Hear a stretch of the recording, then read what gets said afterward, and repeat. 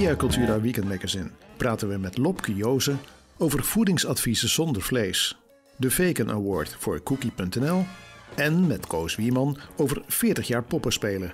Presentatie Gertjan Kleinpaste.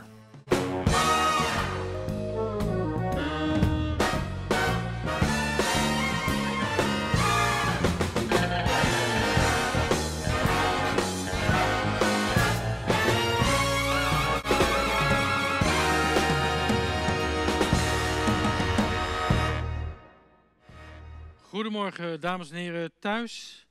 Uh, welkom bij Via Cultura Weekend Magazine. Twee gasten in de studio op dit moment. Lopke Joosen. Lopke Vaassen. Uh, Vaassen, sorry. Uh, excuus. Um, een, een diëtiste, voedingsexpert zou ik bijna zeggen. Koos Wieman, 40 jaar poppenspeler. Met jullie gaan we straks in gesprek. Maar ik heb hier aan de telefoon twee hele blije mensen. Judith en Madelon van Cookie.nl. Um, Judith en Madelon, jullie hebben een Vegan Award gewonnen. Wat, ja, is, klopt, ja. wat is een Vegan Award? Uh, nou, een Vegan Award is, dat is een uh, award. Um, die wordt ieder jaar uitgereikt door de Nederlandse Vereniging uh, voor Veganisme. En daarin zijn verschillende categorieën, waaronder dus de beste vegan webshop. Ja. En die hebben wij gewonnen. Met cookie.nl geloof ik, hè? Ja, dat klopt. Ja. En, en uh, Judith, wat is cookie.nl precies? Wat doen jullie? Uh, cookie.nl is een initiatief gestart door ons. Um, door de coronacrisis is het ontstaan. Madelon heeft een foodtruck en wij zouden afgelopen zomer met z'n tweeën ja, het festivalseizoen met de foodtruck rondgaan. Nou, dat, ja. dat kon niet meer. Weinig festivals voor Tante Tofu heet het geloof ik, hè? Ja. ja. ja. De Tante Tofu truc. Ja, dus eigenlijk geen festivals. En um, ik dacht, ik vind het toch wel heel gezellig om nog met Madelon samen te werken. Um, ja, en een foodtruck die stilstaat, die levert niks op, maar kost wel heel veel geld. Ja. Dus we hebben de productiekeuken omgetoverd tot bakkerijtje. En uh, om op die manier toch nog de, kost, de kosten voor de foodtruck uh, te kunnen dekken in de hoop dat we volgend jaar wel uh, het festivalseizoen met de foodtruck uh, weg ja, kunnen. Ja, en, en, en gaan jullie dan in de toekomst zowel het een als het ander doen? Ik bedoel, want Cookie is dus kennelijk een succes. Ja, Cookie is een groot succes. En of we ja, het gaan combineren, dat is de vraag. Dat, ja. dat zal de, de tijd zal het uitwijzen. En, uh, en, en weten de klanten jullie al goed te vinden? Ja, behoorlijk goed. Ja, nou, hartstikke leuk om te horen. In ieder geval heel erg gefeliciteerd met die award. En uh, ja, ik wens jullie heel veel succes met Cookie.nl. En ik hoop inderdaad dat de foodtruck uh, volgend jaar weer gewoon naar allerlei festivals kan. Uh, want dat betekent ook dat er gewoon weer wat te doen is in dit land. Ja, precies. Dus nogmaals gefeliciteerd. Ik zal er zo nog even over doorpraten met Lopke, die hier in de studio is. Die kennen jullie geloof ik ook. Zeker. Ja, en ja, Lopke, Lopke die, weet, ja, die ja. weet heel goed hoe onze koekjes smaken. Dus daar kan ze wel wat ah, over vertellen. Ja. Nou, dan, dan, ga ik dat zeker even aan de vragen. Hey, leuk dat jullie heel even aan de telefoon wilden komen. En uh, heel veel succes met wat jullie doen. Ik vind het een top, uh, tof initiatief. Dankjewel. Tot kijk. Doeg. Jij weet hoe die koekjes smaken, begrijp ik. Ja, want als je cookie hoort, dan denk je misschien, uh, ja, koekjes weet je hoe bijzonder kan het zijn. Maar ze hebben er wel echt hele luxe koeken. Het zijn bijna maaltijden van gemaakt mm -hmm. en gevuld. En uh, dus cookie doet de naam een beetje, te, te, het product een beetje tekort, zou ja, ik bijna ja, zeggen. Ik begreep dat de naam een beetje een knipoog naar het Dordtse dialect was. Ah. Maar het schijnt vrij uitgebreid te zijn. Ja, het zijn echt flinke dingen en nou ja, hele, um, ja, het, het echt een, een, uitgebreid koekje. Ja, ja, nou ben jij uh, ook diëtist, dus bij die flinke dingen denk ik dan om. Ja.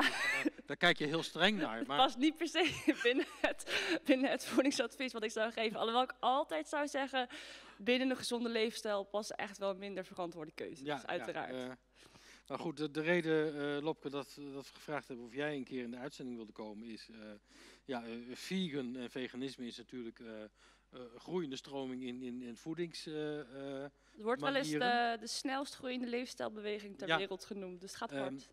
En, en jij verscheen enige dagen geleden in de krant met een artikel dat vlees niet in een uh, voedingsadvies thuis hoort. Dus daar, ja, daar willen we alles over weten. Ja, ja, ja, dat klopt. Ja, dat artikel is eigenlijk geschreven als reactie op een hele reeks aan andere artikelen die, uh, of interviews die in de kranten werden gepubliceerd, online, offline. En dat gebeurt natuurlijk al jaren. Maar het viel echt keer op keer op Um, nou, met de corona bijvoorbeeld is gezondheid ook weer wat meer in, um, um, in het nieuws gekomen. Hoe belangrijk dat is. Omdat we toch wel zien dat de, de zwakkeren hier met name onder te, te lijden hebben. en dan stond er keer op keer, als er dan een bepaalde voedingsstof was die daar een rol bij speelde, nou, dan moest je, moest je vlees eten. Of je, moest, uh, je had eiwitten nodig, veel vlees. Uh, je had vitamine K nodig, veel kwark. Weet je, dat was mm -hmm, ja. wel dat is misschien wel een voedingsstof die voorkomt in zo'n product. Maar als je gaat kijken naar zo'n product en de overal, uh, het effect op de overal gezondheid. En als we dan helemaal het klimaat meenemen, wat ook echt een dreiging is die boven ons hoofd uh, hangt. Uh, is dat helemaal niet het beste, het beste product wat je misschien kan adviseren aan zo iemand. En daar is dat artikel als reactie op geschreven. En het is inmiddels ook al, het is in Parool als eerst verschenen en inmiddels al twee keer hergepubliceerd in de Leeuwarden Courant en vandaag in Dagblad van het Noorden. Dus het, het, het roept dus, wel wat op. Dus, dus het, het, noorden wordt goed geïnformeerd. Ja, nu, het zuiden nu nog. het zuiden. Uh, ik las ook van de week in de krant, ik bedoel, ik heb jouw artikel gelezen, maar ik las ook dat de, de Europese Unie het toch weer uh, presteert om miljoenen uit te trekken om de, de vleeslobby reclame te subsidiëren. Ja, en dat is precies waarom helemaal aan het einde van mijn artikel ook staat, ik dweil lekker verder, want het is echt dweilen met de kraan open. Maar het is wel zo dat het, het geluid wat ik verkondig, ik heb ook gemerkt toen ik het reactie heb toen ik het artikel werd, werd geplaatst, dat ik heel veel reacties heb gekregen van, van mensen in de gezondheidszorg, maar die spreken zich er kennelijk toch niet zo over uit als ik. En dat is best wel jammer. Dat zou ook wel gelijk een oproep zijn. Uh, spreek je uit dat dit echt niet, niet een gezond ja. dieetadvies is. Ja, want, want jij bent uh, uh, diëtiste. dus, dus je begeleidt mensen naar een gezondere leefstijl, verantwoord eten. Um, zijn er veel collega's van jou die toch ook bij, bij dat, dat, die, die vegan levensstijl horen? Of is dat nog een minderheid ook binnen jouw vakgebied? Nou ja, als ze de wetenschappelijke consensus volgen, dan uh, de Nederlandse uh, Gezondheidsraad bijvoorbeeld, hè, die, de, dat is wat uh, de adviezen worden al doorvertaald door het voedingscentrum in praktische adviezen. En de eerste zin van de richtlijn Goede Voeding 2015, dat is de meest recente richtlijn. De allereerste zin, we moeten meer plantaardig, minder dierlijk eten ik heb het gevoel, maar dat is een aanname van mij, dat ook binnen de diëtetiek het een beetje aan het polariseren is. Er ja. is een groep mensen die helemaal richting koolhydraatarm, veel vlees, veel zuivel, veel eieren gaat. En dat adviseert, wat echt niet in lijn is met de wetenschappelijke consensus. Nogmaals, pak de richtlijn de goede voeding erbij. En dus een groep mensen, 100% plantaardig wil ik niet zeggen, maar die dus wel degelijk ermee bezig is van we moeten echt meer plantaardig eten en dat adviseer ik ook. Ja. Uh, Koos, ook welkom in de uitzending. Uh, Hou jij je ook bezig uh, met, met bewust omgaan met voeding? Uh? Ja, ik doe mijn best. de helft, helft van mijn gezin. Uh, helft van mijn gezin eet vegetarisch. Hm. ik probeer het af en toe, maar ik ben helaas nog een vleeseter. Ja. Ik vind het lekker. ja, en ik krijg soms last als ik te vaak vegetarisch eet. Maar dat is misschien, zit misschien tussen de oortjes. Maar we zijn eraan bezig. We gaan dus gewoon mee met de tijd. Ja, maar jullie staan wel open ook voor de, de alternatieven die, die ja. steeds meer worden aangereikt. Uh. Ja, nou ja, dus, uh, mijn halve gezin wil ja. vegetarisch eten. Ja. Dus uh, niet altijd vegan, maar dan vegetarisch.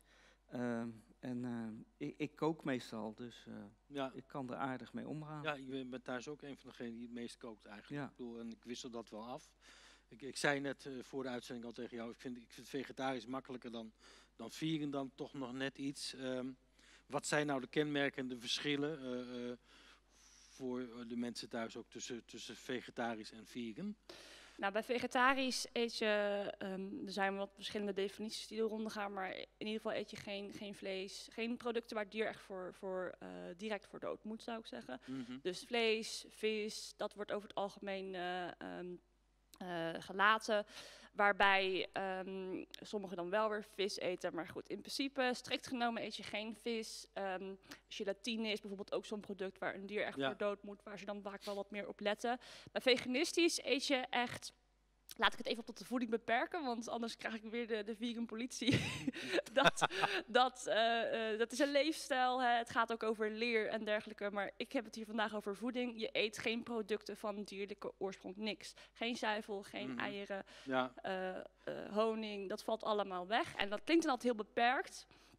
Maar ehm, ik kan vertellen, er is meer fruit, er is meer groente dan er aan vlees bestaat je leven is te kort om alles te proberen. Oké, dus, uh, dus het is echt een kwestie van je bewust worden en, en je erin verdiepen en dan... Perceptie, hè? Perceptie. Hoe want, want, want, want, in heel veel producten zitten toch uh, dierlijke sporen. Ja, maar dat is misschien gewoon een algemeen gezondheidsadvies, los van vegan. Wij eten veel te veel producten uit pakjes, zakjes. Mhm, dat is natuurlijk helemaal niet wat gezond eten überhaupt is. Hè. Dus op die manier krijg je al snel meer zout binnen dan je nodig hebt. Los van plantaardig eten, meer vet binnen dan je nodig hebt. En er komt wel steeds meer een groter aanbod aan ja. ja eh, vegan kant-en-klaar voeding, uh, noem ik het dan maar even. Um, maar dat is voor de gezondheid van mensen niet per se een. Uh, voor duurzaamheid juich ik het toe, maar voor de gezondheid van mensen is dat niet per se een, uh, een, uh, een trend die je zou moeten stimuleren. Ja. En, en, en, de mensen die bij jou komen voor voedings, voedingsadvies, die kiezen heel bewust van: ik zoek een diëtiste die die vegan leefstijl met mij goed kan voorbereiden en doornemen. Ja, over het algemeen wel, maar dat hoeft niet altijd zo te zijn dat die mensen dat dan überhaupt 100% doen. Of dat ze dat doen omdat ze vanuit dierenwelzijn dat doen bijvoorbeeld. Er zijn ook echt heel veel mensen die hebben er gewoon heel veel baat bij, bij met hun gezondheid. Ja. En uh, uh, ja, ik zeg ook altijd, als je het voor je gezondheid doet, uh, of jij dan nog op die ene keer dat je in een restaurant zit, uh, wel vegetarisch in plaats van vegan uh, eet. Ja, dat, die ene keer gaat het verschil natuurlijk niet maken. Net zoals ik er af en toe ook voor kies om vegan junkfood te eten. Wat het verschil tussen gezond en ziek ook niet zou maken. Maar het mhm. gaat om wat voor balans hou je aan en wat voor verhouding. Dus heel veel mensen eten thuis hartstikke plantaardig en dan doen ze buiten de deur iets, iets en, en, en, als er nou mensen zijn die, die nu kijken, luisteren, die meer willen weten... Uh, uh, waar vinden ze informatie over jou en over jouw ideeën? Nou, sowieso op mijn website www.lokkevase.nl of me volgen op Instagram. Dat is eigenlijk het meest ah. uh, up-to-date. Ja, Insta is ook het, het, meest moderne. dat is nu het, het sociale medium. Ja. ja, dat verandert vast weer een keer, maar nu is dat de plek waar, waar ik in ieder geval het actiefst ben. Oké, dus nou ja, uh, heel goed om daar uh, bij stil te staan iets van gehoord te hebben. Ik hoop dat jouw artikel ook nog in de Dortenaar of in nou, het, het AD verschijnt. Ja, hopelijk. Ehm, want het is gewoon heel nuttig om wel heel bewust bij stil te staan. Ehm, en al word je dan niet helemaal vegan, dat je gewoon wel meer varieert in, in de, de, voedingspatronen die je kiest, denk ik. En vooral, een, dat was het belangrijkste, een tegengeluid tegen al die gehypte artikelen over waarom we echt vlees, zuivel, eieren volop moeten stampen. Ja, dat is echt niet, niet ja, waar. Wat dat betreft echt uh, jammer dat de Europese Unie dat dan toch weer zo Ja, dat is heel treurig. Zo ongelooflijk promoot. Maar ja. uh, uh, echt jammer. In ieder geval bedankt voor jouw verhaal. en wij gaan eens eventjes naar de andere gast. Koos Wieman, ja, welkom. ik las van de week in de krant 40 jaar, dat is een hele tijd, in het vak als poppenspeler. Ja, als ik erover nadenk is dat een hele tijd. Het is gewoon begonnen en gewoon een kwestie van doorgaan. Dus ik heb altijd uh, uh, de laatste 40 jaar uh, mijn boterham verdiend met poppenspel. Um, ja, en ik wil nog gewoon lekker door. Ja, en, en is leuk.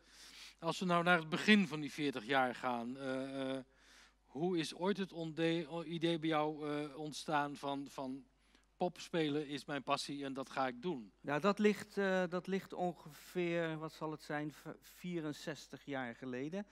Toen uh, maakte, was ik een kleutertje. Toen maakte mijn vader een poppenkast voor een uh, vereniging. En mijn vader kon hele, hele mooie poppen maken, echt. Mm -hmm. die man had kunstacademie. En het was geweldig, mooie poppenkast. En ik was zo onder de indruk van wat hij toen aan het maken was dat ik ging ook samen met mijn broertje van wc-rolletjes popjes maken. En daar gingen we mee spelen. En dat is altijd bezig gebleven. Ja. En in mijn puberteit, heel veel mensen die poppenspel doen, in de puberteit stoppen ze een tijdje. Maar ik ging door. En toen ik een beroep kon kiezen, toen was uh, schoolmeester, wat ik eigenlijk dacht te moeten worden, was toch niet de handigste keuze. Hm. En toen ben ik uh, toch met de poppenkast aan de slag gegaan als beroeps. En, en, wel ooit opgeleid tot schoolmeester? Of, of ja, ik, heb, ik heb hoofdakte. En, ja. Ehm, ja, dat, het hele fijne van, van die opleiding was dat je met schoolmeesters om kan gaan en schooljuffen. Ik sta veel op scholen. Ik heb heel veel scholen gehad door heel Nederland. En dan is die opleiding fijn, want kijk, kinderen zijn ook mensen. Dat vertelden ze je niet hoor, op de opleiding. Maar ehm, schoolmeesters, ja. die willen graag dat jij uh, ja, weet wat je staat te doen. Soms heb je, in mijn begintijd waren er dan van die juffen, die hadden zoiets van, uh, ja, die meneer komt iets met popjes doen, maar dat zal wel niet helemaal deugen. Hè, dat was, uh, moest allemaal pedagogisch en zo. En dan zagen ze mij bezig en hadden ze zoiets van, oh, hij weet precies wat hij doet. En als ik dan zei van, eh, ja, maar ik heb PA, dan was het, oh, dan was het goed. Ja. En dat is heel raar, want de voorstelling was er niet anders door. Ik, ik speel niet als schoolmeester. Kijk, dat pedagogische stukje, dat kan ik aardig uh, thuisbrengen. Ik weet hoe je een opbouw maakt, hoe je, hè, je je planning maakt, je doelen stelt. Wat ga je spelen? Welke thema's zitten erin? Dat, daar is allemaal over nagedacht. Maar als ik speel, is het de bedoeling dat je dat niet ziet. Ja, dat is, uh, dat is uh, wel heel boeiend. Ik bedoel, ik, ik ben sowieso altijd wel gefascineerd door hoe, hoe geboeid, hoe makkelijk geboeid kinderen naar een poppenkast en naar een poppenvoorstelling kunnen kijken. Wat, wat is nou, kun je iets, iets vertellen van hoe die magie nou in elkaar steekt? Volgens mij is het uh, de fantasie en de illusie, die, die wil je opwekken en die werkt al heel snel. Uh, ga je te veel toeters en bellen erbij doen, dus ga je te veel invullen. Ik geef een heel goed voorbeeld. Wat ik wel heel mooi vind, is de Efteling. Ja. De Efteling is helemaal af. Geen hoekje van, van een, een attractie is oningevuld. Overal staat een plantje, een dingetje. Ik vind dat prachtig, maar voor de fantasie is het dodelijk. Ja, je kunt niet iets toevoegen. Nee. Ja. En als ik een decoortje maak van een gordijntje, gewoon één gordijntje, of een lap stof, mhm. of zelfs een zwarte stof, en ik vertel dat daar achter de keuken is, en ik vraag na afloop, joh, willen jullie die keuken een keer tekenen? Dan krijg ik keukentjes die ik niet gemaakt heb, die ik niet heb laten zien, maar die in hun fantasie er zijn. Ja. en, en dat is ook met andere dingen. Je vertelt iets in een voorstelling. Een pop heeft bijvoorbeeld één, één handje, daar doet hij iets mee. En hij vertelt dat hij daar, uh, ik noem maar wat, uh, mee zwaardvecht of aan het schilderen is. En kinderen willen dat meteen geloven. niet alleen kinderen, mhm. ook volwassenen, ook uh, opa's en oma's die mee zitten te kijken, die gaan daar helemaal in mee. Ja. Want ook volwassenen hebben die fantasie nog. Hebben hun kind in zich en die kijken mee. Het is wel wat verder weggezakt bij volwassenen, uh, denk ik wel eens. Uh, Lopke, hou jij ook van poppenkastvoorstellingen? Ging je daar graag heen als kind? Uh, ik kan me herinneringen Volgens mij vond ik het vroeger best wel een beetje eng, een beetje spannend. ik zag het aan je. ik zag het meteen aan je gezicht. Uh, niet dat ik dat uiteraard nu niet meer hoor, maar ik zat er even over terug te denken inderdaad. Het, ik kan me ook niet herinneren dat ik het heel vaak heb gezien, maar op school volgens mij is het wel eens uh, voorkomen. Ik vond het volgens mij een beetje spannend vroeger. Hmm. Dus, uh, maar dat, dat was wat wel meer dingen vroeger. Ja, nou dat vertelt dus ook hoe die fantasie ook kan werken. Ja, dat is waar. Hè, ik, heb, ik heb, ben nu voor dit 40-jarig jubileum heb ik een, een, voorstelling gemaakt. Die gaat over een muisje. Thuis voor muis heet die. Ik heb even het hoofdje bij me. Dit is het hoofdje. En eigenlijk is de muis alleen maar zo. Dit is de muis. Ja. En, en voor de rest, uh, die muis wordt gemaakt in de voorstelling. Uh, en ik denk, het is een heel zoet verhaaltje. Hè. Er komen wat, wat beesten in voor. Maar er zijn kindjes die vinden het heel spannend. Ja, ik ook. Uh, gaan we praten? Sorry. Oké. Okay. Ben je stil? Ja, sorry. Hoef geen sorry te zeggen. Oh, ja. Goed, en, en dit is dus een muisje. En elke voorstelling wordt hij opnieuw geboren. Ja. Oh, dat weet je? Ja. Oké. Ben je klaar? Ja. Oké. ja. Nou. Spannend, hè? Ja, ja, heel spannend. Maar goed, de, dan speel je eigenlijk met niks meer dan zo'n muisje. Alleen een hoofd? Ja. En ik heb een witte handschoen erbij. Nou, niet, ik sta in mijn blootje hoofd. Wat? Ik sta bloot. Oké, sorry. Mag ik terug? Je mag terug. Dag. Tegen wie zeg je gedag? Thuis. Thuis. Thuis. Oké. Voorstelling heet Thuis voor Muis. Ja. Nou, dit is dus een heel klein popje. En je ziet, daar kan je meteen mee spelen. Ja, Hey. nou ja, ik bedoel, er, er ontstaat meteen, bedoel, je, je bent met, met eh, alleen het hoofd van die muis bezig, maar er ontstaat onmiddellijk magie. En er zit van alles omheen, Ja, eh, wat, wat er helemaal niet is. En toch kan je dat spelen. Je kan poppen ook uitgebreider maken. Ik heb er nog een paar bij me. Eh, misschien dadelijk leuk. mhm. Eh, ja maar, maar je kan zoveel eraan hangen als je wil. Maar hoe minder je maakt, hoe sterker ze vaak worden. Ja, Hè, en er zijn natuurlijk poppenspelers die daar eh, subliem in waren. nou ja, we, we hadden het voor de, voordat de, de uitzending begon even met elkaar over Jozef van den Berg. Ja, Eh, toen jij zei van, er zijn zelfs poppenspelers die in een eh, schuur wonen. Dat, Ja. dat is in Neerijnen, eh, waar Joost van den Berg uiteindelijk nu zit, ehm, zo gegaan. Maar dat was in, die, in de tijd ook iemand die die illusie met relatief eenvoudige middelen had maar een paar poppen. tot, tot leven wist Ja, te werken. Eigenlijk, eigenlijk was Jozef een, een acteur. Hij heeft volgens mij op de toneelschool in Groningen Ja. gezeten, totdat de liefde in zijn leven kwam. En toen ging hij aan de slag. Hij begon een poppentheatertje en hij had eh, ehm, mevrouw de heks. En hij had de portemonnee. Ja, En eh, hij de- speelde met enorm veel overtuiging. En niet alleen de kinderen gingen mee, de, de ouders nog, nog erger. Hij speelde soms smiddags een voorstelling voor kinderen en s'avonds dezelfde voorstelling voor volwassenen. Ja. Het zat vol. Het was, eh, eh, ik ben ook wel wezen kijken, het was echt subliem. nou ja, ik heb hem ook een aantal keren in het theater gezien. En in die zin is hij misschien afwijkend van het traditionele poppenspel. Dat het echt op het toneel is dat hij er zelf ook staat. En Ja, ja maar en- weet je, het traditionele poppenspel zat er wel in. Ik bedoel, wat ik met het muisje doe, mhm, d- dat is poppenspel. En daar zit een traditie achter, en dan zonder Jan Klaassen en zonder gordijntje. Maar het werkt zodra je aan de slag gaat. ja, En doe je het niet goed, dus steek je een pop omhoog en hij leeft niet, hè, je laat hem niet leven, ja, dan wordt het vervelend, denk Ja. ik.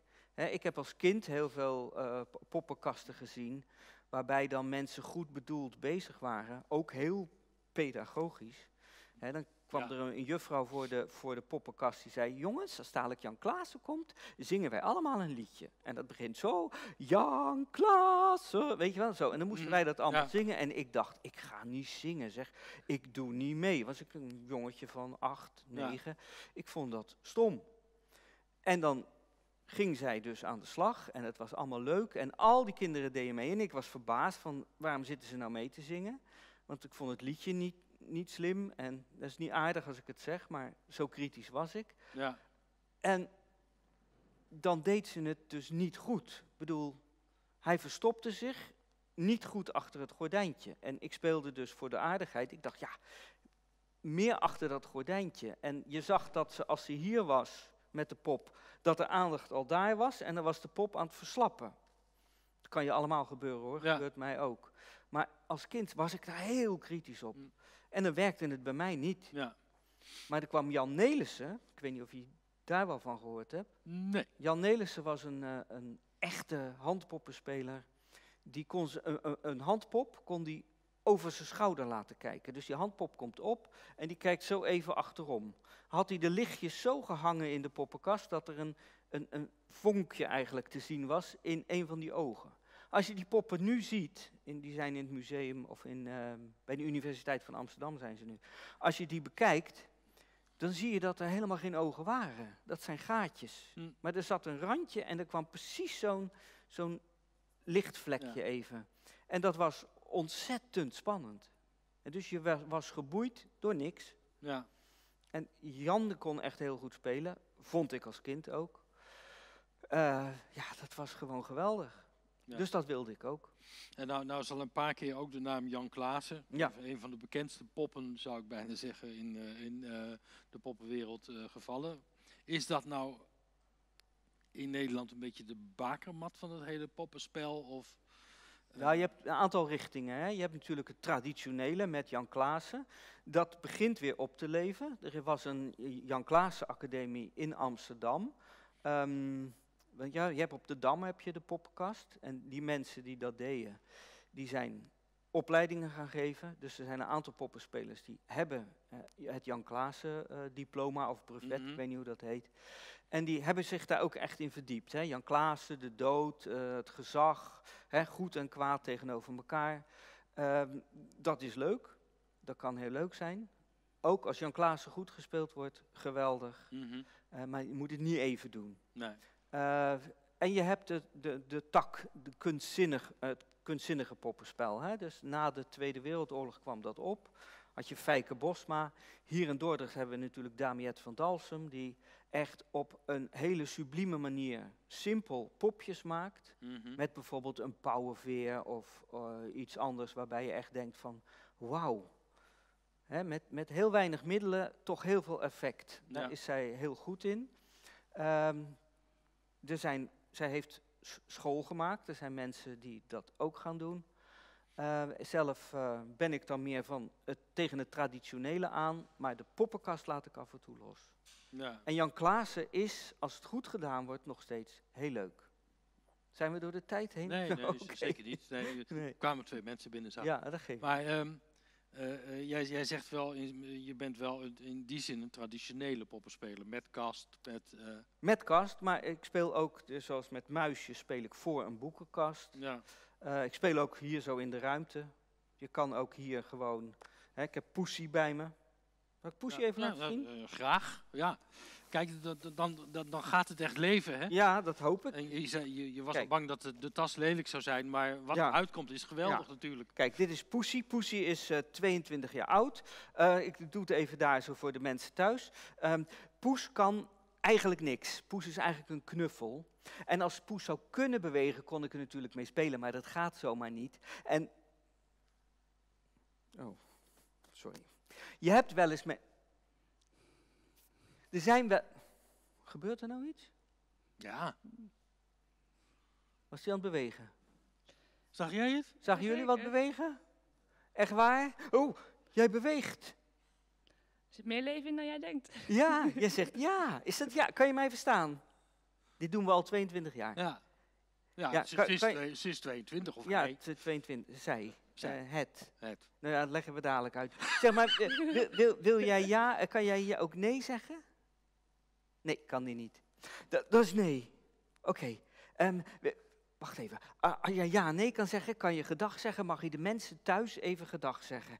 Oh nee. Poesjes kunnen niet praten, hè? Hè? Mouwen. Kan je gedag mouwen? Nee, dat gaat niet, hè? Dan moet je kunnen praten en dat kan jij niet. Nee. Nee. Als je... Zei je nou wat? Wie? Ik? Ja? Nee hoor.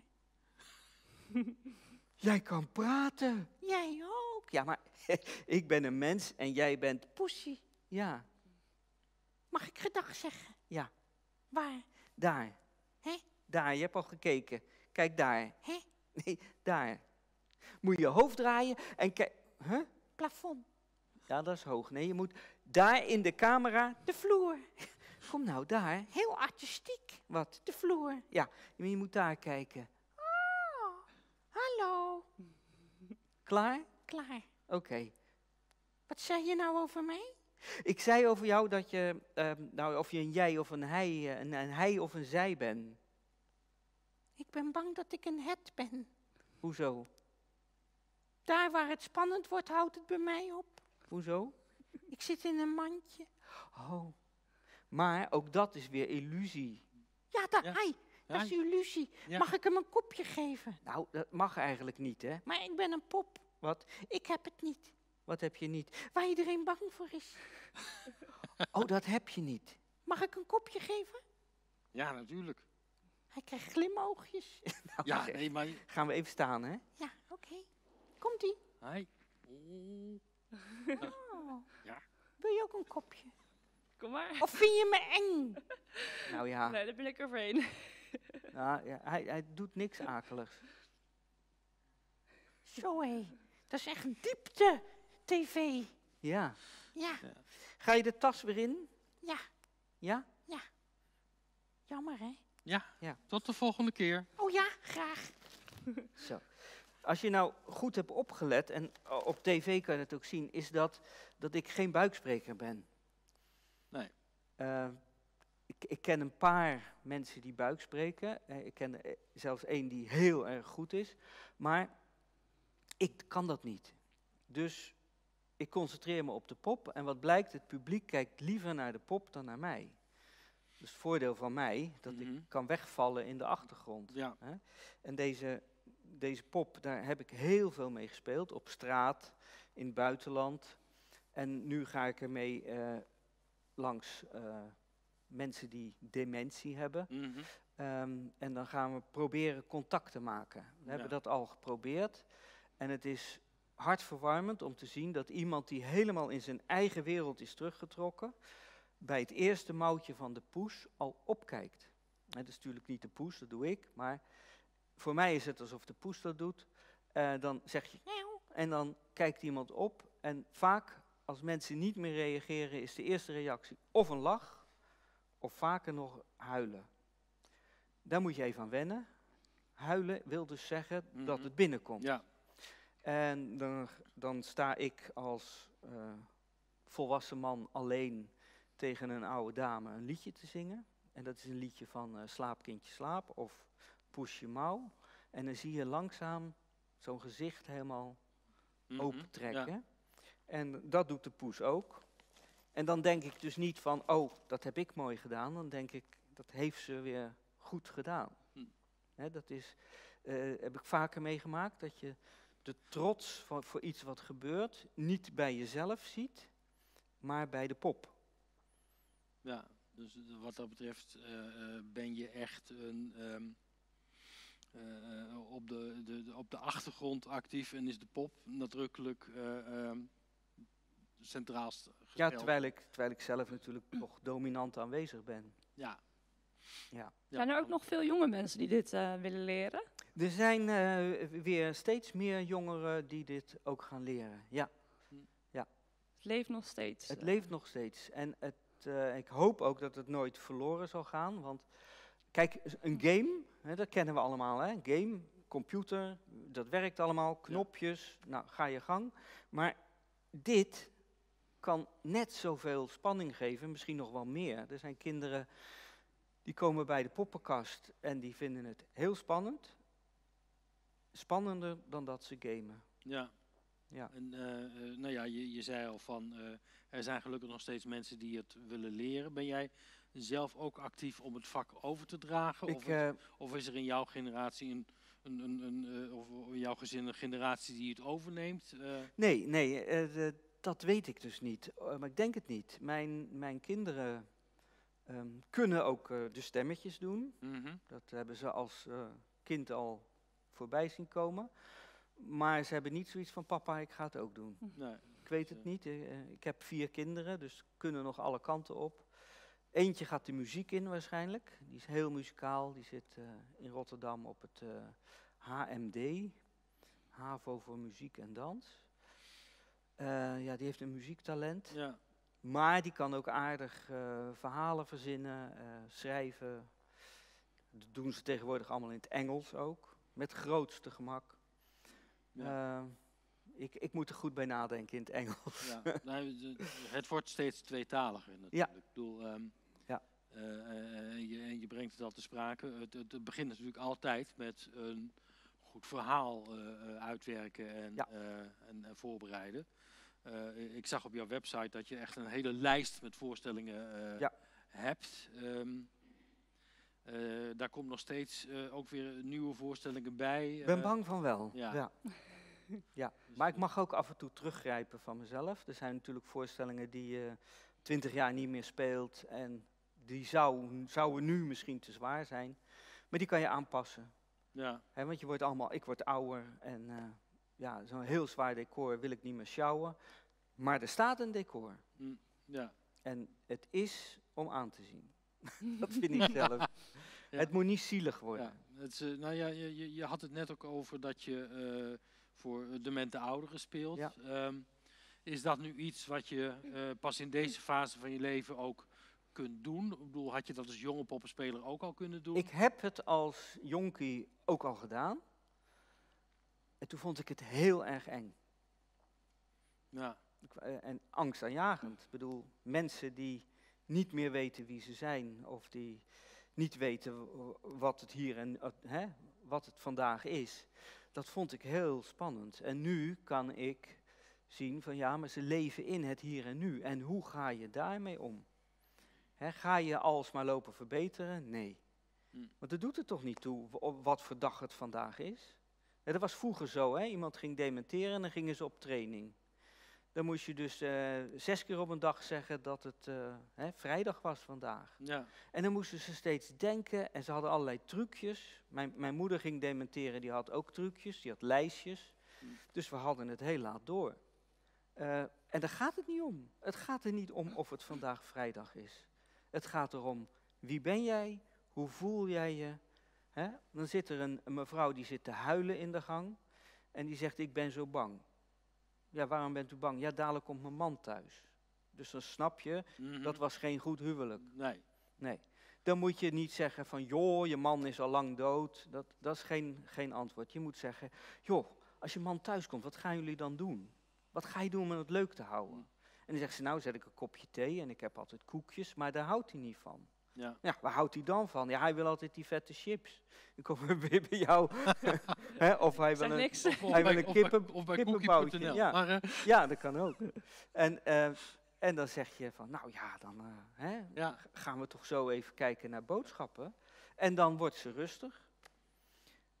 Hè, dat, dat is de techniek. En ja, je, je dreigt. ik heb ook voor, voor, voor kinderen in ziekenhuizen mogen spelen, een tijdje. Mm dan kom je in een uh, zaaltje of in een kamer en er ligt een kindje echt helemaal zo in het verband. Vreselijk verbrand. Ja. Dan moet je niet als je binnenkomt zeggen, oh, wat heb jij nou? Nee, dan moet je daar een grapje over maken. je moet daar over dat leed heen stappen.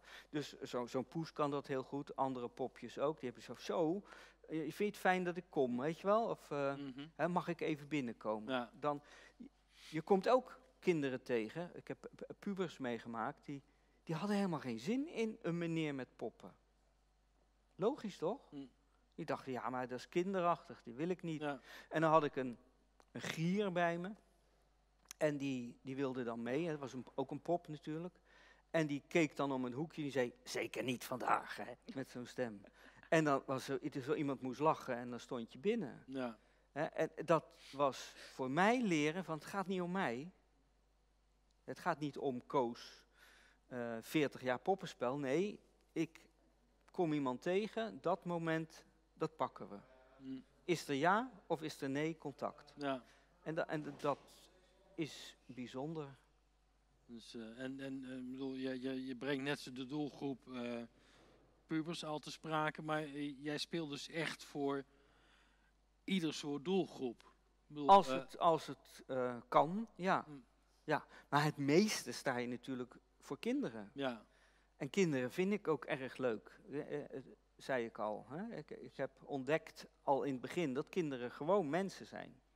Daar kan je ook gewoon tegen zeggen, nou, nou nu even niet, of uh, ik ben even klaar. Maar ik vind het altijd leuk als ze nieuwsgierig zijn. Hè? Eh, dat, dat, volgens mij zijn kinderen dat al vrij snel. Dat is, uh, ja. dat is de manier om te leren, nieuwsgierig zijn. En dan heb je uh, juffen die zeggen van ja, maar het is een ander soort nieuwsgierigheid. Als ze hierin willen kijken, terwijl ik mhm. nog niet begonnen ben. En ze mogen er niet in kijken, maar dat ze het willen, vind ik ja. Vind ik heel logisch. En, en, ik heb zelf als kind een aantal keren meegemaakt dat je dan um, in, een, bij een voorstelling kwam kijken en dat ik even achter de kast keek en dat de speler dan zei, uh, joh, ga spelen Jan. En dan kreeg ik een beetje de pest in, want dan dacht ik, ja, ten eerste heet ik zo niet. En ten tweede, ik uh, heb ook popjes. ik was geïnteresseerd in die techniek. En als iemand voor de voorstelling onaardig en zaggerijnig was, was hij dat voor mij in de voorstelling ook. Dus dan ging iemand opeens uh, populair lopen doen. Hè, ah jongens, leuk dat jullie er allemaal zijn. En dan dacht ik, ja, ga spelen Jan. Dus, uh, ja. ja. Dat. En uh, je, je gaat ook naar scholen toe. Is naar scholen toe gaan nog steeds het leeuwendeel van, van jouw vak? Of, Nou is de laatste jaren ietsje minder Ja, de, de, de hoeveelheid spel is teruggelopen. Na 2008 kregen we die crisis. Mhm. dat was eerst niet te merken, maar toen gingen ze overal bezuinigen. Maar ik sta regelmatig nog wel op scholen, ja. ja. Maar veel theaters ook. En uh, als er maar publiek is. In, Rot in, Rotterdam hebben we 40 jaar nu een, een straatpoppenkast. Mm Dat uh, heette vroeger de permanente poppenkast. En de werktitel van het geheel, toen we het gingen bedenken, het is van een collega die heeft dat bedacht ene Wim Noordegraaf die eh, bedacht dat, uh, hij zegt, Koos, hoe zou je het vinden als er in Rotterdam een gewapend betonnen poppenkast staat? Nou, lachen natuurlijk.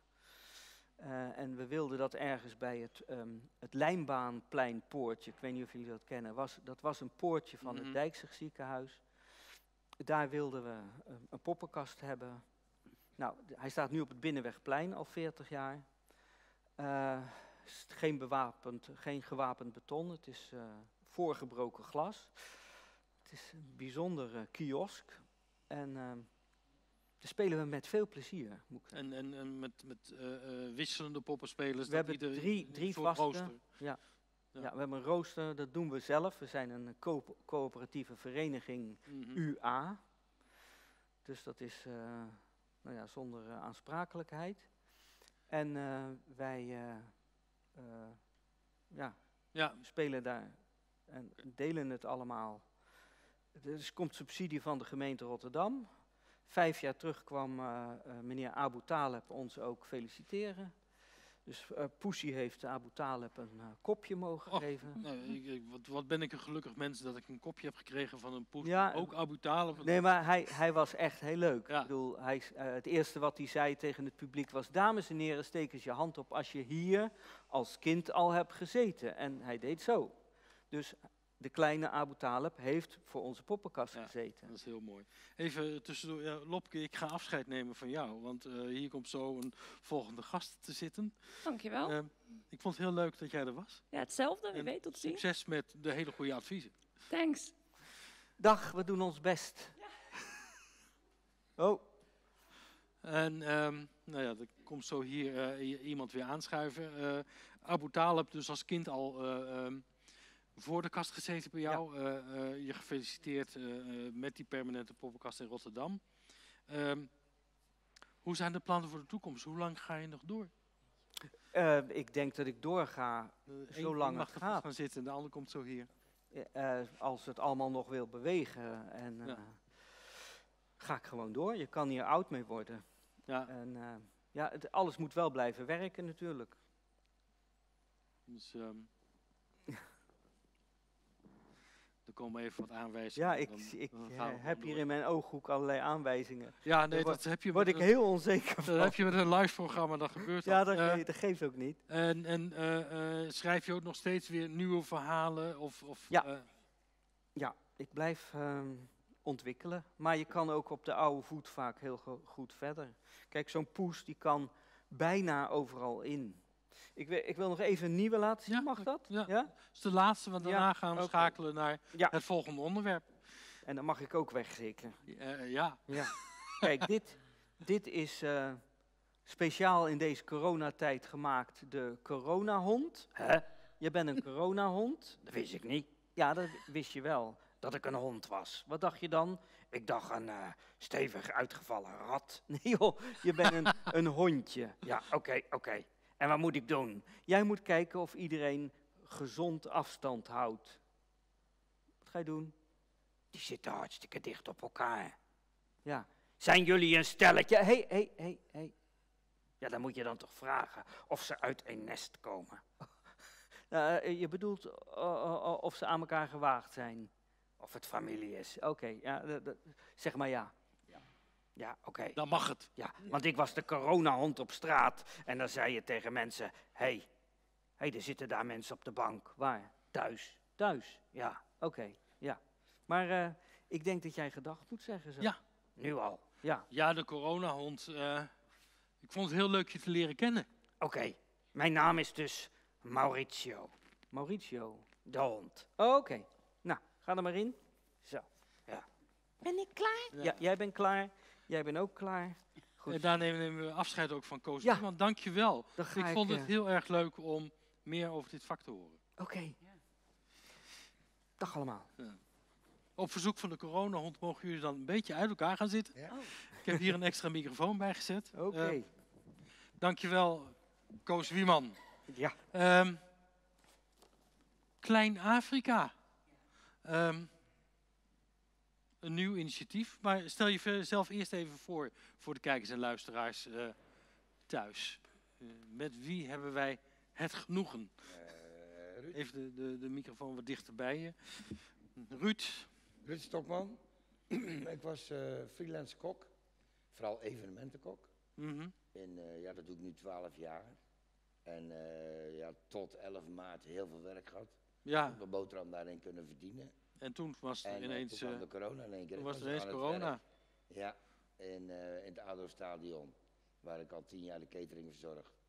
En uh, ja, om 11 maart was ik nog aan het voorbereiden voor 700 mensen. En uh, 12 maart werd de wedstrijd afgelast. En ja, ik denk, oh ja, vreemd. Maar op zich wel ja, ik dacht, oh, dat is ook wel lekker eigenlijk. Een paar weken thuis, weet je wel. Ik denk, de corona gaat me heel even duren. Ja, nee, maar dat werd maanden. Dat werd maanden. De eerste paar weken kon ik nog lekker in het zonnetje zitten bij mijn vrouwtje op de bank thuis en, uh, of buiten. En ja, dat ging veel te lang duren. Op één keer werden al, mijn, uh, al mijn opdrachten werden gecanceld. Ja, en ik kan me dat voorstellen. We begonnen de uitzending vandaag met uh, twee jonge meiden die een foodtruck hadden. ook festivalgebonden oh, natuurlijk. Ja, dat was ook ineens afgelopen. Die begonnen een website cookie.nl, vegan cookies. Uh, Dus ja, je probeert inderdaad uh, iets, iets nieuws te verzinnen om toch je inkomen te genereren. stel je ook even voor.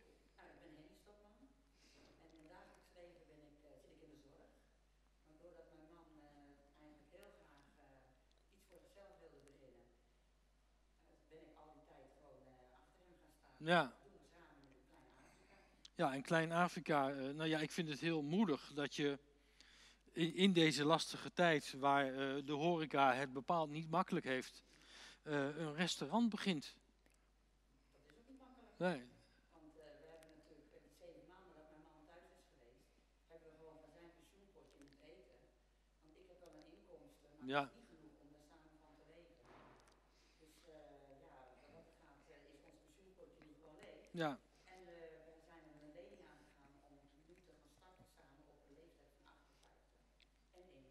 Ja.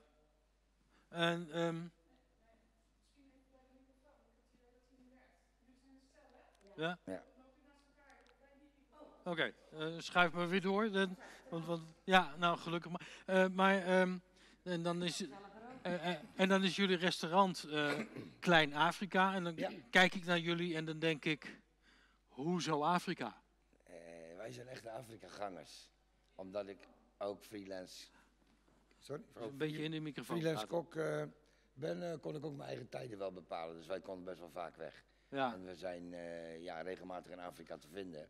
En dat is eigenlijk ons tweede thuis een beetje. Dus, dus, dus dat begint met gewoon interesse voor het continent. Ja. Wat, ja. wat immens groot is. en, en dan denk je van, van het eten daar, het traditionele eten, breng ik naar Nederland. Ja, ik heb daar ook gekookt voor, voor grote groepen, zeg maar. Een beetje meegeholpen. En het leren koken van de, van de moeders van Afrika, zeg maar. Dus toen was het idee van ja, als we toch iets gaan beginnen, moeten we wel iets hebben wat er niet is. Ja. Sowieso om te proberen dat dat wel goed gaat lopen, zeg maar. Want er blijft altijd een risico. Ja, en, en Zeker in deze is, er, is er nou een uh, gedeelte van dit continent uh, wat jullie het meest bezoeken of waar jullie uh, keuken ja. op georiënteerd is? We komen ja. eigenlijk, het meest komen we in Gambia. Ja, mm. Gambia, Senegal, Senegal. West-Afrika, zeg ja. maar. Ja, dus, en, en dus het koken is ook daarop geïnspireerd. Ja, klopt. Ja, ja West-Afrika eigenlijk. Hè? Ja. En we zijn wel in Tanzania geweest, in Zanzibar. Mm -hmm. En daar hebben we ook weer een recept van meegekregen. Ja, en en, en, en uh, wat is nou kenmerkend voor de Afrikaanse keuken? Ja, heel moeilijk om te zeggen. Het is wel een typische Afrikaanse smaak. Maar omdat, ja, je kan niet zeggen waar het nou echt per se door komt. Je kan wel gelijk proeven dat het heel anders smaakt dan, mm -hmm. dan het Europese continent, zeg maar. Ja. Het, het, het, is ja, de smaak van Afrika, zeg ik altijd. Maar... Het is een nieuwe smaak die je ja. eigenlijk ja. moet proeven. En nou, nou zag ik op uh, Facebook langskomen dat jullie uh, uh, een soort Afripan, of hoe noemden jullie dat? Ja, de Afripan 078, ja. ja. gaan we introduceren vanaf 1 december. Ja, dat is een, uh, een koude eten wordt koud in de pan gedaan. En dan wordt de pan opgehaald. En dan is hij thuis als hij denkt van nou het wordt tijd om te dineren. Stekker in een stopcontact. Een half uurtje later dan, dan kan je aanvallen aan de Afrikaanse ja. diner. Nou, dat lijkt me wel een, een heel mooi concept. Ja, ja, de eerste aanvragen zijn al binnen.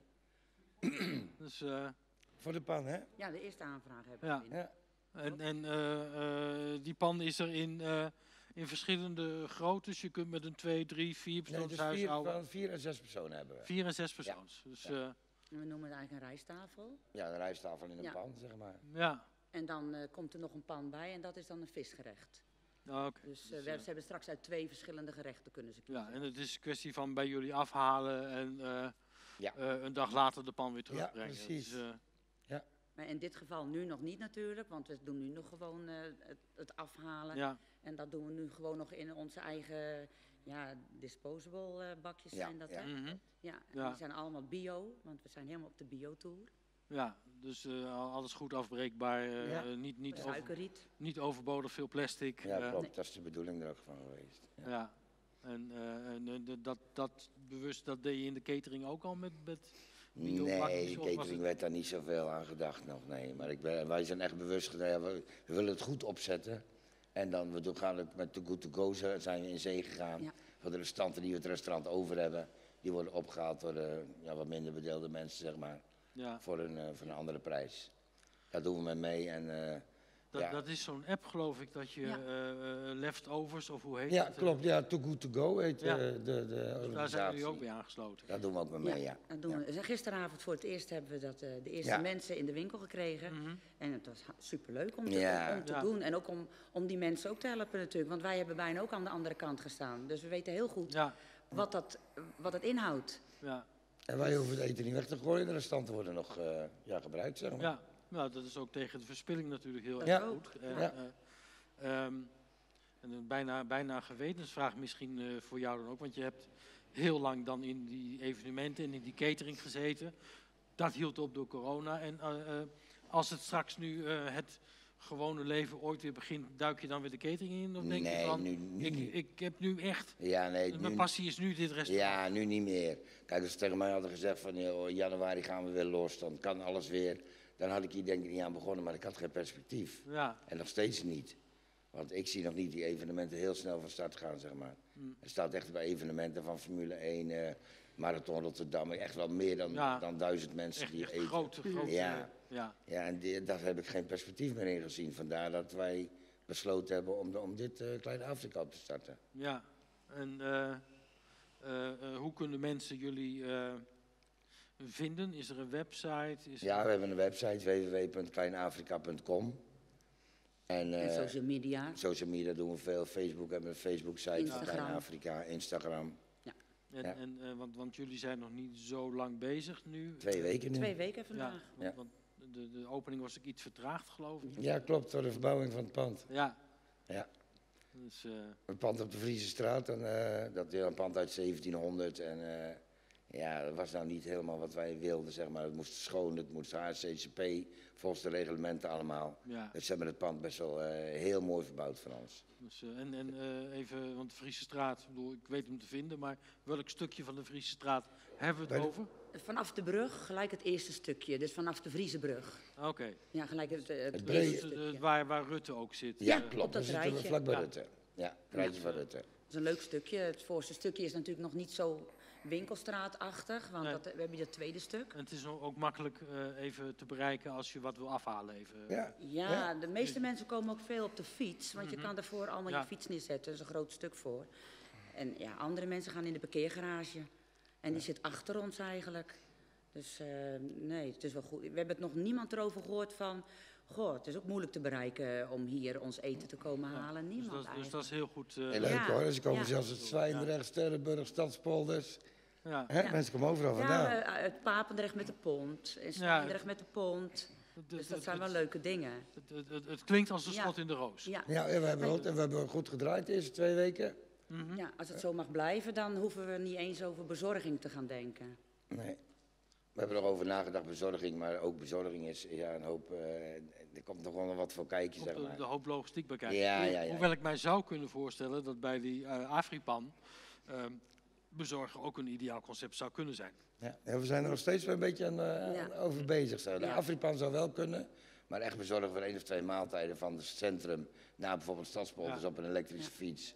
En eer, eer zo'n jongen dan terug is of zijn meisje, dan ben je... Ja, en, en als je je aansluit bij uh, Uber Eats, dat staat tegenwoordig geloof ik. Ja, daar moeten we ook nog over nadenken, maar die hebben ongeveer 30% van je omzet. Dat is fors. Ja, daarna wij zijn beginnende ondernemers. Ja, dus dat wil je niet. Nee. nee. nee. Ja. Nee dat is niet de bedoeling moeten eerst zorgen dat we zelf eigenlijk alles weer een beetje ja. op, op de rails krijgen. ja, je, je zei al van uh, uh, uh, eind 50 en dan zo'n avontuur ja. Ja, ja. ja wij voelen ons niet zo oud hoor, moet ik zeggen. We kunnen nog echt goed door de deur met de jonge lui, zou ik maar ja, zeggen. Nou, dat... Dus, en zo voelen wij onszelf ook, want anders hadden we misschien nooit deze stap genomen. Sowieso natuurlijk heel erg belangrijk. Ja. nou ja, ik vind het heel moedig dat je en leeftijd is maar een getal, toch? Ja, dat je in deze tijd uh, een restaurant begint. Uh, ik neem aan dat de eindambitie dan ook wel is als, als je weer gewoon de horeca open mag, dat je ook mensen in de zaak krijgt. Maar, uh, nee, we gaan, of, blijft het, of blijft het afhalen? We blijven nee, we blijven het afhalen, restaurant. Ja. Ja, ja. ja. We willen nog, enigszins willen we nog wel iets van tafeltjes buiten in het voorjaar. Ja, een terras. Een terras, maar nee, we gaan niet, ik ga niet serveren of zo, want ik heb ook nog ander werk. Ja. Ik heb twee banen, dus ja, dat wordt, moet je weer personeel aangenemen extra. Ja, dat is ook weer kostelijk. Ja. Heel leuk dat je dit hebt willen komen vertellen. Ik wens jullie heel veel succes met Klein Afrika. Dankjewel. Dankjewel. De eindtune klinkt alweer. Dat betekent dat dit uur Weekend Magazine er alweer op zit. Dames en heren thuis, hoop dat u het een mooie uitzending vond. Ik vond het in ieder geval hartstikke gezellig. Met Lopke, met Koos Wieman, met de mensen van Klein Afrika. Tot de volgende week.